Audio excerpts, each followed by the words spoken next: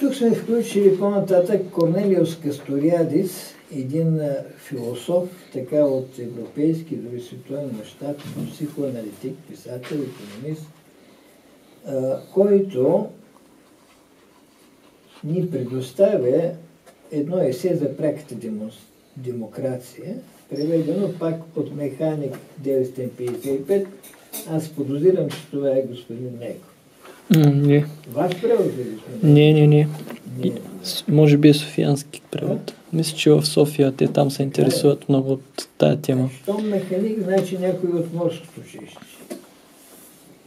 На страница 74 представяме Стария Варненски панаир. Това е случайно попаднала снимка, която показва как се веселяха хората на гладен стомах. По Великден. В памет на, Людмила, на Людмила Иванчева поставяме две нейни стихотворения. Тя е музикант, музиколог. Мариела Русева, тя не ни е включила в своя в своя алманах тя, въпреки че разполага с нашите стихове и работи, но ние я включваме с едно, две, три, четири стихотворения, за да бъде жива и здрава. Сега, като завърша този преглед, аз съм донесъл няколко други алманаси, за да направим сравнителен анализ, къде сме ние, къде са уния алманаси. Така.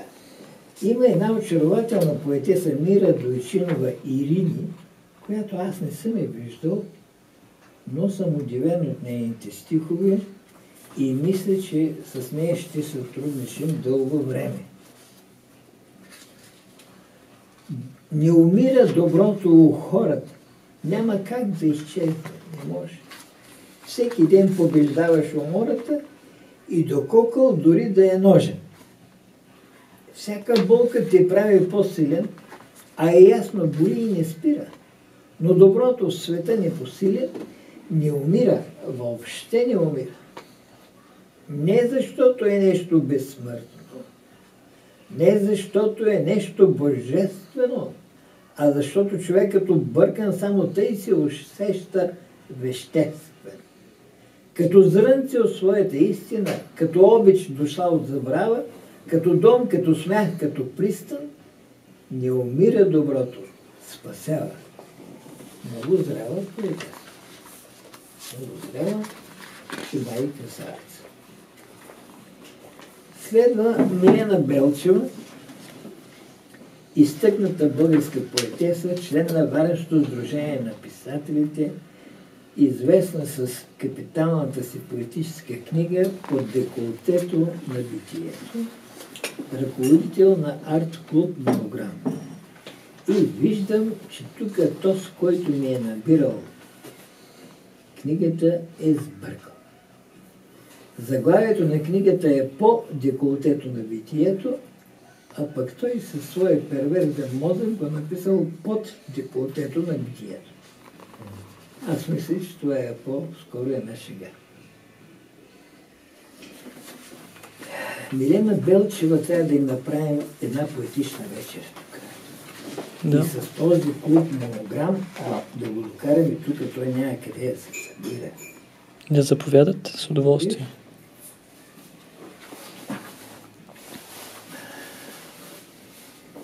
Те казват така.